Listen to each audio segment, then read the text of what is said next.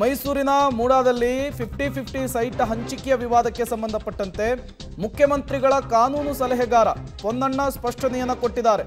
ಇದು ಬದಲಿ ನಿವೇಶನವಲ್ಲ, ಪರಿಹಾರ ರೂಪದ ನಿವೇಶನ ಅಂತೇಳಿ ಹೇಳಿದ್ದಾರೆ. ಪರಿಹಾರ ರೂಪದಲ್ಲಿ ಕೊಡಬೇಕಾದಂತಹ ಹಣದ ಬದಲು ನಿವೇಶನವನ್ನು ಕೊಡಲಾಗಿದೆ. ಬಿಜೆಪಿಯರು ದೊಡ್ಡ ಹಗರಣದಂತೆ ಇದನ್ನು ಬಿಂಬಿಸ್ತಾ ಇದ್ದಾರೆ. ಮುಖ್ಯಮಂತ್ರಿಗಳ ಕಾನೂನು ಸಲಹೆಗಾರ ಪೊನ್ನಣ್ಣ ಅವರು ಈ ಹಗರಣದ ಆರೋಪಕ್ಕೆ ಸಂಬಂಧಪಟ್ಟಂತೆ ಹೇಳಿಕೆಯ ಮೂಲಕ ಸ್ಪಷ್ಟನೆ ಕೊಡುವಂತಹ ಕೆಲಸಕ್ಕೂ ಕೂಡ ಮುಂದಾಗಿದ್ದಾರೆ. ಇಪ್ಪತ್ತು ಹನ್ನೊಂದು ಎರಡು ಸಾವಿರದ ಇಪ್ಪತ್ತು, ದಯವಿಟ್ಟು ನಾನು ತಮ್ಮಲ್ಲಿ ಎಲ್ಲರಲ್ಲೂ ವಿನಂತಿಸ್ಕೊಳ್ತಾ ಇದ್ದೀನಿ. ಇದನ್ನು ನಾನು ಕೊಡ್ತೀನಿ ಇದರ ಕಾಪಿನ, ಇದನ್ನು ದಯವಿಟ್ಟು ತಾವು ಓದಬೇಕು. ಯಾಕಂದರೆ ಇದು ಎಲ್ಲ ಈ ಒಂದು ಪ್ರಕರಣಗಳಿಗೆ ಸಂಬಂಧಪಟ್ಟಂತೆ, ಬರೀ ಇದು ಪಾರ್ವತಿ ಅವ್ರಿಗೆ ಮಾತ್ರ ಅಲ್ಲ, ಎಲ್ಲ ಪ್ರಕರಣಕ್ಕೆ ಸಂಬಂಧಪಟ್ಟಂಗೆ ಒಂದು ತೀರ್ಮಾನವನ್ನು ತಗೊಳ್ತಾರೆ. ಆ ತೀರ್ಮಾನವನ್ನು ನಿಮಗೆ ಭಾಳ ಸಂಕ್ಷಿಪ್ತವಾಗಿ ಓದ್ಬಿಡ್ತೀನಿ.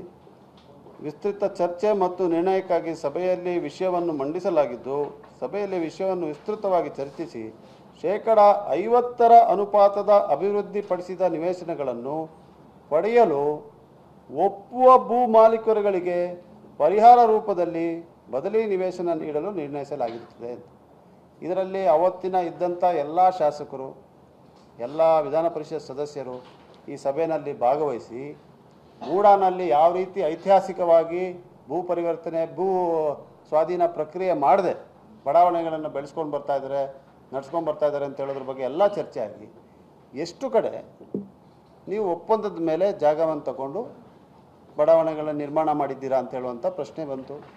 ಎಷ್ಟು ಕಡೆ ನೂರಕ್ಕೆ ನೂರು ಕೊಟ್ಟಿದ್ದೀರಾ? ಒಂದು ಎಕರೆ ತಗೊಂಡಿದ್ರೆ ಒಂದು ಎಕರೆನ ಪರಿಹಾರ ಕೊಟ್ಟಿರುವಂಥ ಪ್ರಕರಣಗಳು ಕೂಡ ಇದೆ. ಕೊನೆಗೆ ನಿರ್ಣಯ ಏನು ಮಾಡೋದು ಅಂತ ಹೇಳಿದ್ರೆ, ಎಲ್ಲಿ ಭೂ ಮಾಲೀಕರು ನಮಗೆ ಹಣದ ಪರಿಹಾರ ಬೇಡ, ನೂರಕ್ಕೆ ನೂರು ಪರಿಹಾರವಾಗಿ ಬೇಡ, ಬಡಾವಣೆಗಳ ರಚನೆ ಆಗಿರೋ ಕಡೆ ಐವತ್ತು ಪ್ರತಿಶತನ ತಗೊಂಡು ನಾವು ಜಾಗವನ್ನು ಬಿಟ್ಕೊಡ್ತೀವಿ ಅಂತ ಒಪ್ಕೊಳ್ತಾರೆ, ಅಲ್ಲಿ ಅದನ್ನು ಒಪ್ಕೊಂಡು ನೀವು ಕೂಡ ಅದನ್ನು ಪರಿಹಾರ ರೂಪದಲ್ಲಿ ಇದನ್ನು ಮುಗಿಸಿ ಅಂತ ಹೇಳೋದು. ಯಾಕಂದರೆ ಇವತ್ತು ಮೂಡಾದಲ್ಲಿ ಸಾವಿರದ ಎಕರೆಗಿಂತ ಹೆಚ್ಚಾಗಿ more than one thousand acres of land ಭೂ ಪ್ರಕ್ರಿಯೆ, ಅಂದರೆ ಭೂ ಸ್ವಾಧೀನ ಪ್ರಕ್ರಿಯೆಗೆ ಒಳಪಡಿಸಿದೆ. ಬಡಾವಣೆಗಳನ್ನು ರಚನೆ ಮಾಡಬೇಕು ಏನು ಮಾಡಬೇಕು? ಜನ ಯಾರು ಜಮೀನನ್ನ ಕಳ್ಕೊಂಡಿರ್ತಾರಲ್ಲ, ಅವ್ರಿಗೆ ಮಾತ್ರ ಈ ನೋವು ಅನುಭವಿಸ್ತು. ಸೇರ ತೊಗೊಂಬರೋದು, ರೋಡ್ ಹಾಕೋದು ಇದು ಹಾಕೋದು ಪಕ್ಕದಲ್ಲಿರೋ ಜಾಗದಲ್ಲಿ ಲೇಔಟ್ ಡೆವಲಪ್ ಮಾಡೋದು, ಅದನ್ನು ಪರಿಹಾರ ಮಾಡಬೇಕು. ಕೋರ್ಟ್ಗಳಲ್ಲಿ ಕೇಸ್ಗಳಿದೆ.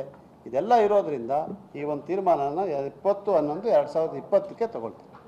ಈ ತೀರ್ಮಾನದಲ್ಲಿ ಈ ರೀತಿಯಾಗಿ ಅರ್ಜಿ ಕೊಟ್ಟಿರುವಂಥವರು ಒಂದು ಹತ್ತರಿಂದ ಹನ್ನೆರಡು ಜನ ಇದೆ ನಾವು ಒಪ್ಕೊಳ್ತೀವಿ ಅಂತ ಈ ತೀರ್ಮಾನದ ನಂತರ, ಇಪ್ಪತ್ತು ಹನ್ನೊಂದು ಎರಡು ಸಾವಿರದ ಇಪ್ಪತ್ತರ ತೀರ್ಮಾನದ ನಂತರ ಹತ್ತಕ್ಕಿಂತ ಹದಿನೈದು ಜನರು ಯಾರು ಭೂ ಕಳ್ಕೊ, ಭೂ ಜಮೀನು ಕಳ್ಕೊಂಡಿದ್ದಾರೆ, ಅವರು ನಾವು ಈ ಒಂದು ನಿಮ್ಮ ಪರಿಹಾರಕ್ಕೆ ಒಪ್ಕೊಳ್ತೀವಿ ಅಂತೇಳಿ ಮನವಿಯನ್ನು ಕೊಟ್ಟು ಅದರಲ್ಲಿ ಶ್ರೀಮತಿ ಪಾರ್ವತಿ ಅವರು ಕೂಡ ಒಬ್ಬರು ಇಪ್ಪತ್ತ ಐದು ಹತ್ತು ಎರಡು ಸಾವಿರದ ಇಪ್ಪತ್ತ ಒಂದಕ್ಕೆ ಅವರು ಒಂದು ಮನವಿಯನ್ನು ಕೊಟ್ಟು, ನಾನು ಕಳ್ಕೊಂಡಿರುವಂಥ ಮೂರು ಎಕರೆ ಹದಿನಾರು ಗುಂಟೆ ಜಮೀನೇನಿದೆ, ಅದಕ್ಕೆ ಪರಿಹಾರ